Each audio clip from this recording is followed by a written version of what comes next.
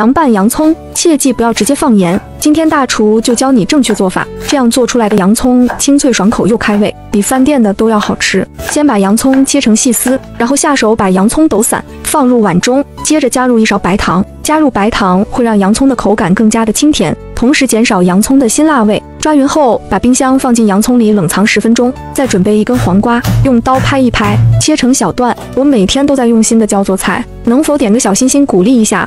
非常感谢。再来切点小米椒和蒜末，再来切一点香菜。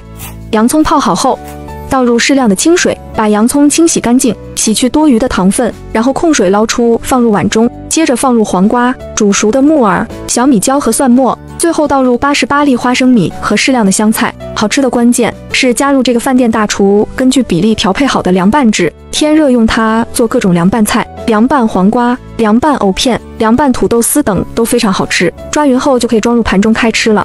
用这个方法做的凉拌洋葱，清脆爽口，开胃又下饭，真的太好吃了！你也做给家人试试吧。